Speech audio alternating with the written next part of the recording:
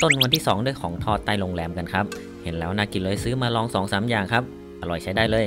หลังจากอิ่มท้องแล้วเดี๋ยวเราไปเที่ยวสิงคโปร์ EP 2 กันต่อนะครับสำหรับใครที่ชอบคลิปแบบนี้นะครับ ก็อย่าลืมกดไลค์กด Subscribe กดกระดิ่ง เป็นกำลังใจให้พวกเราด้วยนะครับ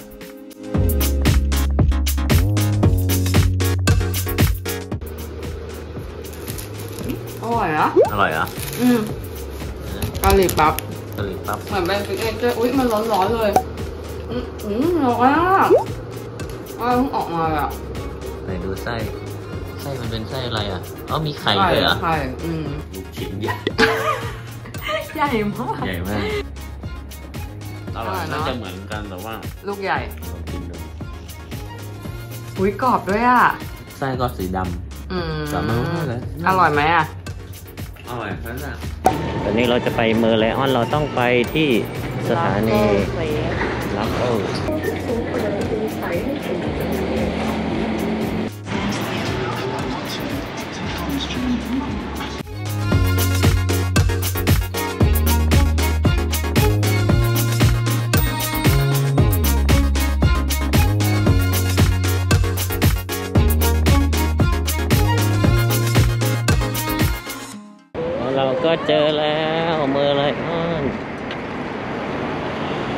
อ้าวซันมาได้ไงเนี่ย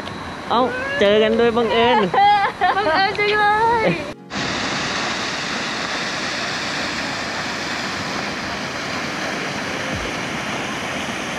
นี่คือวิธีการถ่ายกินน้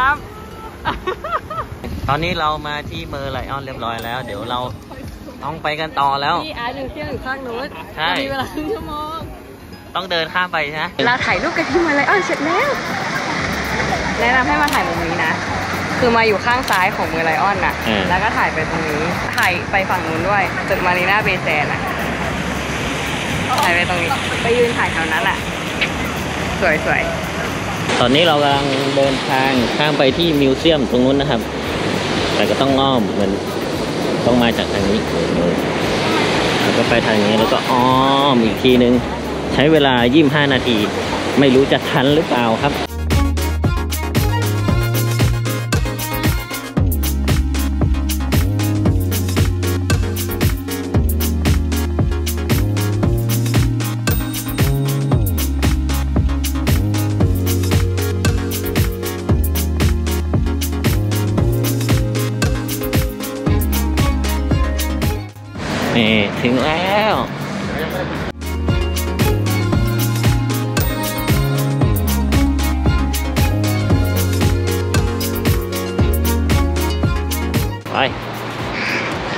สิบโมงพอดี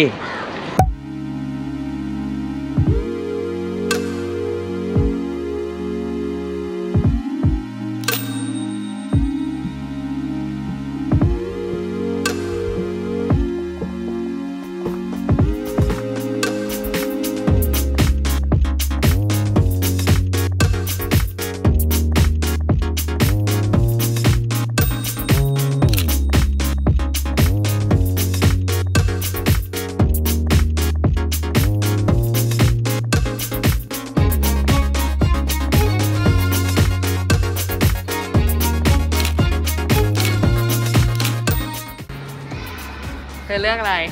นี่สิงโต แน่นแล้ว แน่นแล้ว เย้ออกมาออกมาแล้วเฮ้ยได้แล้วเฮ้ยสวย ticket สำหรับเข้า Art Science Museum เนี่ย พวกเราจองไปล่วงหน้าผ่านแอป Klook นะคะ สามารถ search ด้วยคำว่า Art Science Museum ได้เลย อันบนสุดอันนี้นะคะ Art Science Museum ที่คนนิยมไปคือตรงที่ถ่ายไฟระยิบระยับสวยๆมันจะเป็น Admission to Future World where Art meets Science อันนี้นะคะ ก็จะมี 2 อันที่วงเล็บ Peak กับ Off Peak Peak จะเป็นวันศุกร์เสาร์อาทิตย์นะคะ ส่วน Off Peak ก็คือจันทร์ถึงพฤหัสค่ะ ดีเทลตรงนี้สามารถเข้าไปเช็คข้อมูลล่าสุดได้เลยนะคะ ดูตรง how to use อันนี้ก็ได้ค่ะ ตรงนี้ถ้าเราเลือก peak ใช่ไหมคะ มันจะเขียนว่า the voucher is valid for Friday Saturday Sunday ค่ะ สมมุติว่าซีจะไปวันเสาร์ซีก็จะเลือก peak อันนี้นะคะ กด select แล้วก็เลือกจำนวนคนที่จะไปได้เลยค่ะสมมติไปกัน 4 คนก็เลือก 4 แล้วก็กด add to cart ได้เลย จากนั้นก็ทำการจ่ายเงินก็จะเป็นอันเรียบร้อยได้ voucher มาค่ะ สิ่งที่สำคัญของ Art Science Museum คือปัจจุบันเนี่ยเขา require ให้ book time slot ด้วยนะคะ ต้องกดเข้าไปตรง C m a l l ตรงนี้ค่ะ จะเห็นว่าเขาบอกว่าปัจจุบันเนี่ยเพื่อการรักษาระยะห่างในยุคโควิดค่ะ คนที่จะมาในส่วนของ Future World เนี่ยจะต้องทำการ book time slot ล่วงหน้านะคะ โดยกดเฮียตรงนี้ ตรงนี้จะโหลดช้านิดนึงนะคะ ถ้ามีปัญหาไม่สามารถเข้าหน้านี้ได้อะแนะนำให้กดตรงนี้แล้วก็กด copy link แล้วไปเปิดที่เบราว์เซอร์อื่นได้เลย หรือ refresh ไปเรื่อย ๆ ก็ได้ค่ะ หน้าเนี้ยจะมีให้เราเลือก time slot ที่เราจะไปนะคะ เช่นสมมุติซีจะไปวันที่ 16 ตุลาวันเสาร์ก็เลือก 16 ตรงนี้จะเห็นว่าถ้ามันขึ้นสีเทาๆ unavailable คือ time slot นั้นๆเนี่ยเต็มไปแล้วนะคะ single seat เพิ่งเคยเห็นไม่แน่ใจคาดว่าน่าจะเป็นเข้าไปได้คนเดียวนะคะ ส่วน sailing fast ก็คือเลือกไปได้เลยนะ แล้วเราก็เลือกจำนวนคนได้เลย สมมติ 4 คนก็จะเห็นว่ามันขึ้น SGD นะคะ แต่ว่าเป็นศูนย์ก็คือไม่ได้เสียเงินแค่ book time slot ไว้เฉยๆ แล้วก็กด add to cart ได้เลยค่ะ ตรงเนี้ยก็ใส่อีเมลใส่ password กด login นะคะ หรือถ้าใครยังไม่เคยสมัครก็กด new account แล้วก็สมัครใส่ email address ไปถ้าเราใส่ข้อมูลการจองเรียบร้อยแล้ว จะได้รับอีเมล confirmation กลับมา สามารถใช้อีเมลนั้นในการยืนยันกับเจ้าหน้าที่ก่อนเข้า Future World ได้เลยค่ะ นี่นะคะชีวิตพวกเรา เรากำลังเดินไปห้างมารีนาเบเซนเราอยู่ในมารีนาเบเซนเดี๋ยว เราไปกินไอติมกัน ใช่แล้ว เดินเข้ามาแล้วก็เลี้ยวซ้ายลงมาในเลื่อนจ่องกระยึกแล้วเราก็จะเจอร้านไอติมเวงคี้ร้านนี้ที่เขาบอกว่าต้องมากินให้ได้ มันเป็นของอิตาลีอะ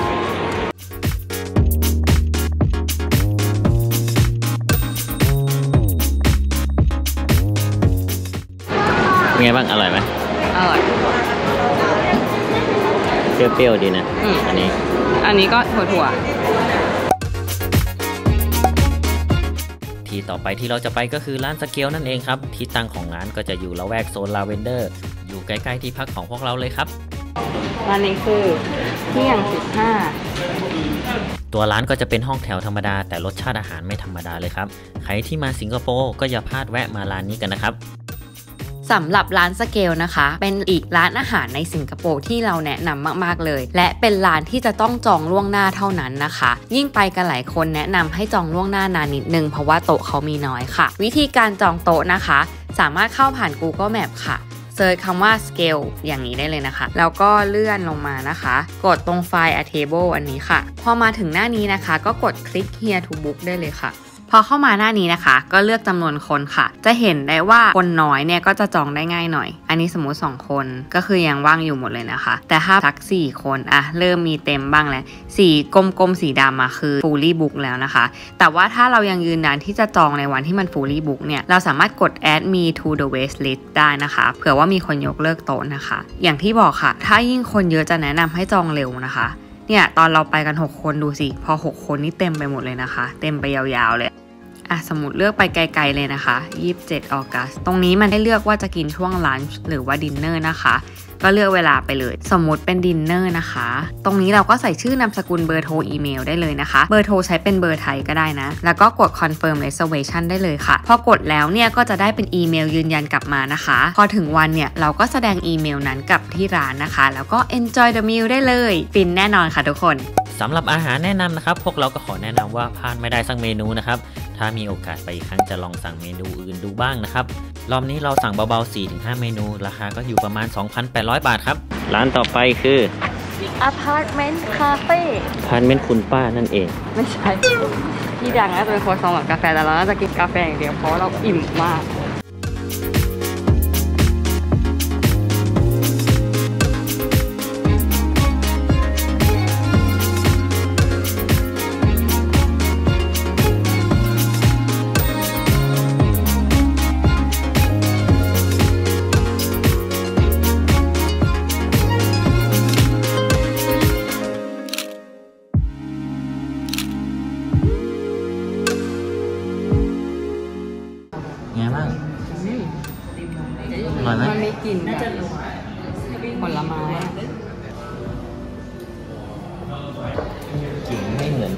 ไปเบอร์รี่นิดนึงอ๋อ เดี๋ยวเราไปขึ้นบัสลองขึ้นบัสจะกลับไปเดินเล่นมารีนาเบย์แซนเห็นไหมสวยไหมจามจุรีไอ้ไอ้บอกแล้วว่าสวย สวยมากอะ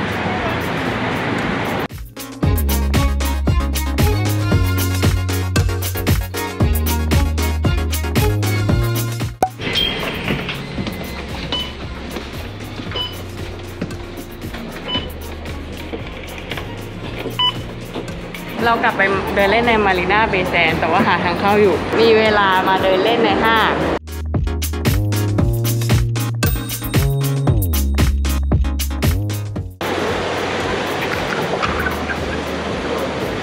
เฮริกบิช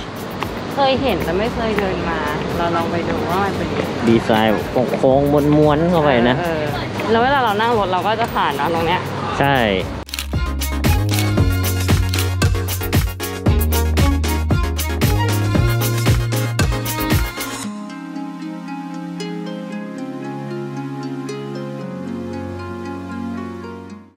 นี่นะ สรุปเราว่าเราแนะนำให้เอา travel card มาแต่ว่าแลกเงินสดมาด้วย ที่นี่มันไม่ได้ถึงกับว่าทุกร้านรับหมดอะเราควรมีเงินสดไว้เผื่อๆด้วยแลกมานิดหน่อย แต่มี travel card อย่างน้อย คือถ้าเราแลกเงินมาไม่พอฉุกเฉินเราก็ยังสามารถไปกดเงินได้ไม่ไม่เสียเงิน แล้วก็ travel card มันดีตรงที่แบบเราติดขึ้น MRT ขึ้นรถบัสได้เลยอะใช่เออคือไม่ว่าจะไปสายไหนสายไหนก็คือใช้บัตรเดียวได้เลย ใช่ใช่มันง่ายดีเนาะอืมมันแบบ เราไม่ต้องมานั่งซื้อบัตร แล้วก็นั่งคิดว่าต้องเติมเงินเหมือนไรอะไรยังไงแบบอืมแล้วก็มานี่แนะนำพกหมวกล่ม เพราะว่าฝนมันตกตกบ้าง แดดออกบ้าง ถ้ามีหมวกก็คือใส่ได้ทั้งกันแดดกันฝนอืมล่มด้วย แค่ว่าเราแบบมาเที่ยวแล้วมันไม่เย็นนะเราก็ต้องเตรียมตัวเออเตรียมตัวเปียก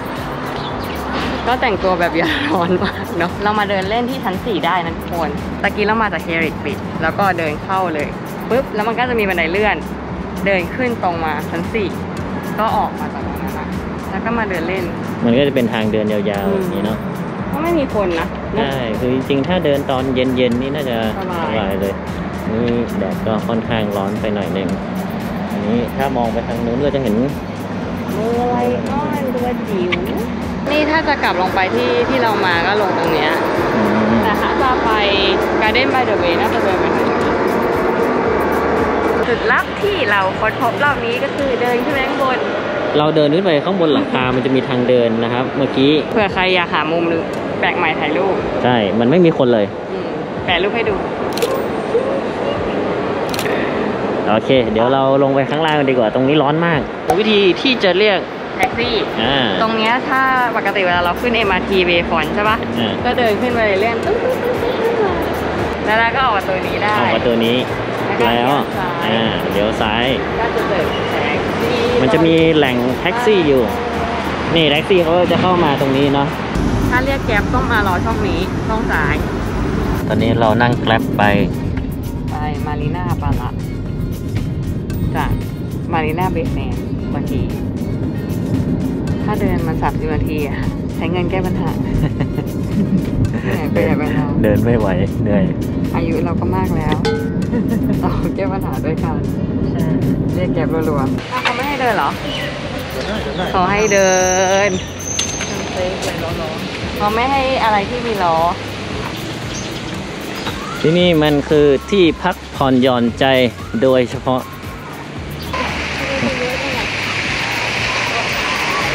เขาแข่งว่าวกันหรือเปล่า ที่นี่ก็จะเหมือนที่ปิกนิกสวนลุม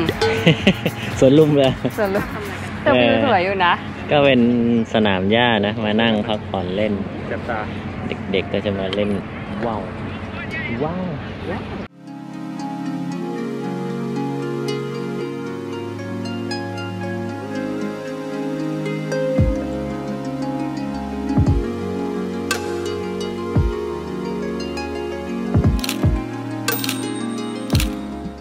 นี่โอเคนะ บรรยากาศชิลๆนั่งดูวิว ถ้าเกิดว่าไม่ได้จะไปไหนต่อก็แนะนำให้นั่งดูพระอาทิตย์ตกเลย ครับแต่ว่าเรากำลังจะไป Cloud Forest ต่อเป็นต้นไม้ที่อยู่ในห้องแอร์อะคือถ้าคนชอบต้นไม้เขาว่าชอบนะ อย่างเธออะแล้วกำลังจะถึง Cloud Forest อยู่ข้างหน้า โอ้โหมันเป็นโดมใหญ่มากนะ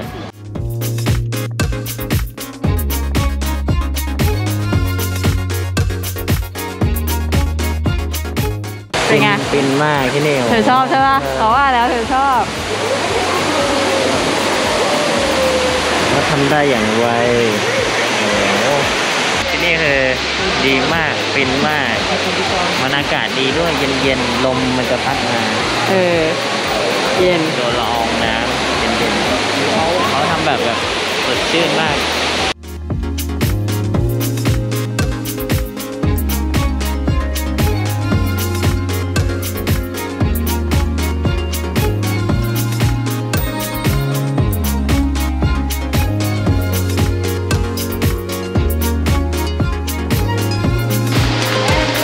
เย็นสบาย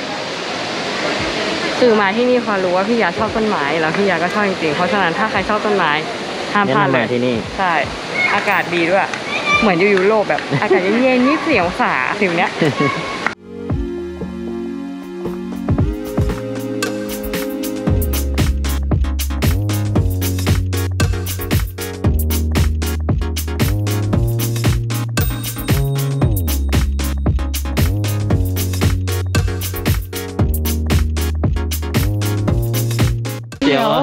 สูงเกินนะเพราะคืออยู่ตรงเนี้ยเนี่ยเนี่ยโอเคเนี่ยเขายื่นโกบไปอู้โอ้โหอย่าอย่าอย่าดูสิเดี๋ยวมาก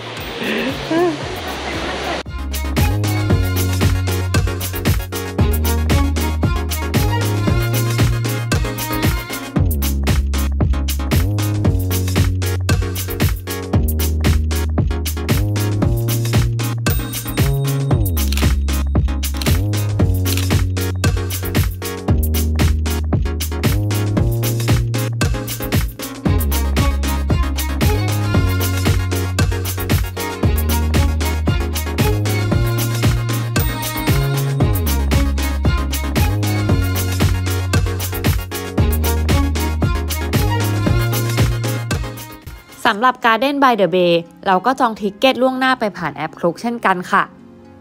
ของพวกเราจะจองเป็น Garden by the Bay one day ticket เฉพาะส่วนของ Flower Dome และ Cloud Forest นะคะ กด select ค่ะ ตรงนี้ให้เลือก Adult Standard นะคะ ราคาประมาณ 717 บาท แนะนำให้รอดูส่วนลดเป็นช่วงๆไปนะคะ เผื่อเขามีโค้ดลดค่ะ กด Add to Cart แล้วก็ทำการจ่ายเงินได้เลยค่ะ แล้วเราก็เอา e-ticket ไปโชว์ที่หน้าเคาน์เตอร์ได้เลยค่ะ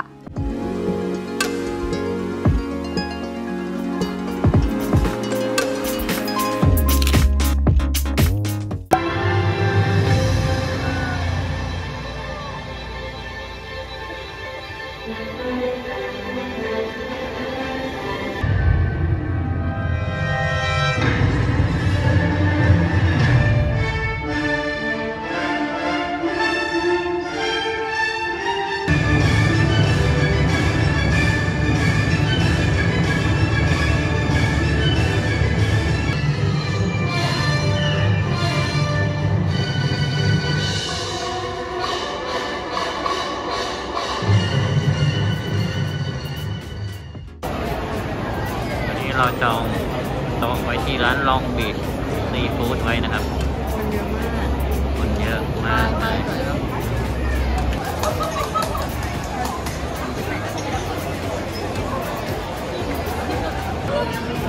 ว้าย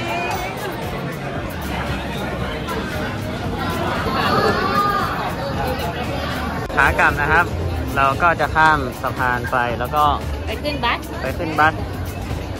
าย 51 ใช่ เดินไป4นาทีขึ้นบัสสาย5เอ็ดแล้วก็นั่งไปอีก24นาที